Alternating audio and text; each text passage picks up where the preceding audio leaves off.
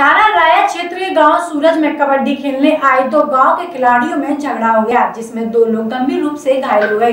पीड़ित शिकायत लेकर थाने पहुँचे।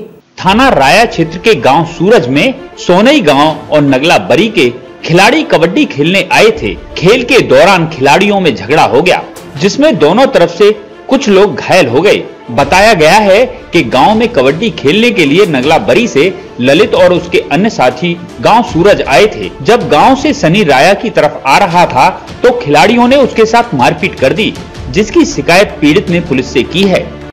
थाने में आई हो? नाम सनी है भैया काम सूरज का रहने वाला क्या घटना हुई है? भैया मारपीट की थी मुझसे इन लोगों ने? सोने के आदमी से। किस बात को लेकर झगड़ा हुआ?